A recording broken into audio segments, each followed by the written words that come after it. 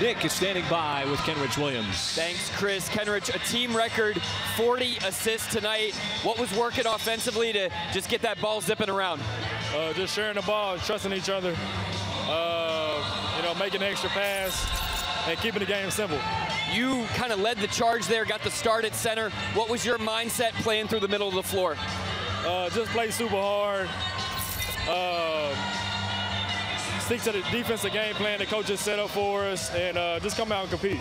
You had a career high 10 assists. How much fun is it for you to find your guys and, and pinpoint those passes? Uh, it's super fun. Uh, it's a blessing to be able to Five, six, five. to be able to come out and uh, and get 10 assists. Uh, it's a blessing. So uh, shout out to the guys, man. Shout out to the guys. And you all have been talking all season about getting off to better starts tonight, 17 to one. How rewarding is it to see you all kind of accomplish that? Uh, it's huge because uh, I think that the first five minutes of the game is the most important. Uh, so to be able to get off to a good start, uh, it kind of gives you that, that leeway and that confidence going to the game. All right, thank you so much. Good job finishing off this one at home. Thank you, Nick.